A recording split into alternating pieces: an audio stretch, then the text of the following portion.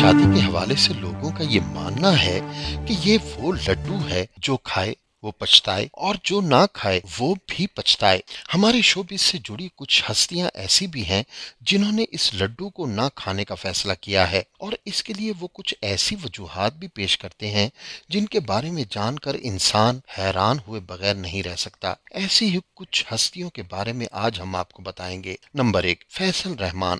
فیصل رحمان جنہوں نے بہت کم عمری میں ہی فلم انڈسٹری میں قدم رکھا اور اس دوران انہوں نے اپنی اداکاری سے لوگوں کے دلوں میں بہت تیزی سے جگہ بنائی اور اس دوران لڑکیوں میں بھی کافی مقبول رہے۔ مگر انہوں نے اس مقبولیت کو کبھی بھی کسی رشتے میں تبدیل کرنے کی کوشش نہیں کی۔ اور اس حوالے سے ان کا یہ بھی کہنا ہے کہ وہ فطرتن بہت شرمیلے ہیں۔ اس وجہ سے وہ شادی کرنے سے کتراتے ہیں۔ نمبر دو، نرما۔ ماضی کی مشہور اداکارہ نرما نے اپنے وقت میں شہرت کا عروج دیکھا، مگر اس دوران بھی انہوں نے شادی کا فیصلہ نہیں کیا۔ ان کے ساتھی اداکار شامل خان کے ساتھ ان کا سکینڈل کافی عرصے تک لوگوں کی زبان پر رہا، مگر اس سکینڈل نے اداکار شامل خان کی شادی کے بعد دم توڑ دیا اور اداکارہ نرما نے بھی اس کے بعد شادی نہ کرنے کا فیصلہ کر لیا اور شو سے بھی کنارہ کشی اختیار کر لی۔ نمبر تین، جیا علی۔ جیا علی کا شمار بھی پاکستان کی نامور اداکاراؤں میں ہوتا ہے۔ انہوں نے بھی اپنی شادی نہ کرنے کے فیصلے کے بارے میں بتاتے ہوئے ایک انٹرویو میں بتایا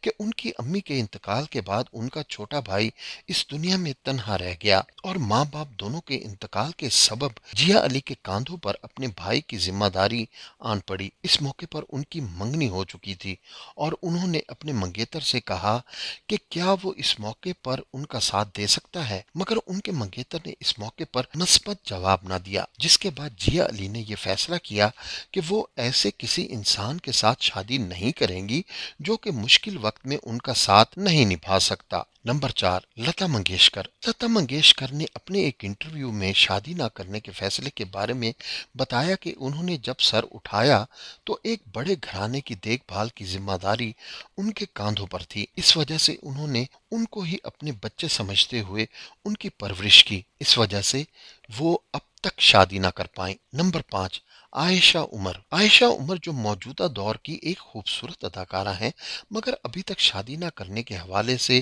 بار بار پوچھے جانے والے سوال پر ان کا کہنا تھا کہ وہ ایک آزاد فطرت انسان ہے اور اپنے اوپر لگائی جانے والی پابندیاں برداشت نہیں کر سکتی ہیں۔ اس وجہ سے وہ کسی ایسے انسان کا انتظار کر رہی ہیں جو کہ ان کی طرح کی سوچ کا حامل ہو۔ پاکستان ڈرامہ انڈسٹری کی سینئر اداکارہ شائستہ جبین نے شادی نہ کرنے کی وجہ بتاتے ہوئے کہا کہ میں نے ابھی تک جتنی بھی شادیاں دیکھی ہیں، ان میں سے چند ہی لوگوں کی شادی شدہ زندگیاں خوشحال گزر رہی ہیں۔ کہیں شوہر خراب ہے تو کہیں بیوی۔ لوگوں کی ناکام شادی شدہ زندگیاں دیکھ کر میں نے شادی نہ کرنے کا فیصلہ کیا۔ ایک انٹرویو میں اداکارہ نے کہا، یہاں تک کہ میں اپنے بھائی کی ازدواجی زندگی دیکھ کر بھی اسے یہی کہتی ہوں کہ صرف تم لوگوں کی ہی وجہ سے میں نے شادی نہیں کی۔ میں نے بچپن میں ہی اپنے والد کو کھو دیا تھا اور ان حالات میں فیملی کو سپورٹ کرنے کے لیے شوبیس کا رخ کیا۔ شائستہ جبین نے کہا کہ میں اپنے خاندان کی پہلی اور آخری خاتون ہوں جس کا تعلق